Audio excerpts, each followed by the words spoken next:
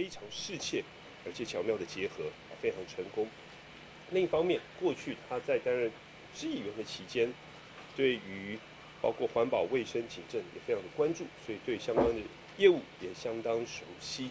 所以接下来很希望能够透过他的专业、他的创意发想，将客家文化持续的推广到台北市每个角落。但是就是在英伟的这个部分，其实还是有民进党的议员会说，哎，台北市没有人了吗？又或者是说他过去可能跟议员很多交锋，会说他脾气火爆，你觉得呢？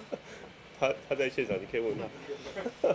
不会，我觉得最重要啊，其实青年局未来的业务其实涵盖非常广。我们希望透过像英伟过去也有青年培力丰富的经验，未来能够对青年朋友各项的新生议题。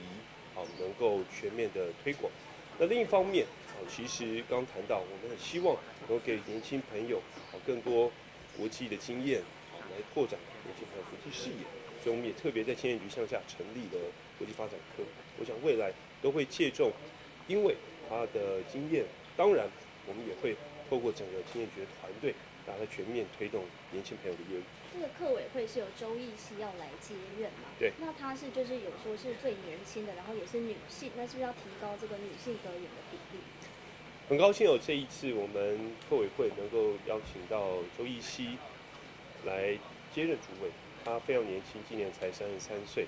呃，他是在双北长大的桃园新屋客家子弟。他除了会讲一口流利的客家话，另一方面。他过去公务的经验也算丰富哦，从总统府一直到立法院。那我们很希望透过他年轻活力，而且有冲劲，以及对于客家事务的了解，能够很快的呃来推展各项的业务。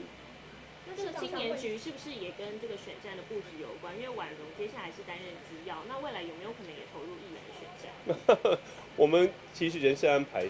最重要整体考量是让整体市政的推动能够非常的顺利，而且符合市民的期待。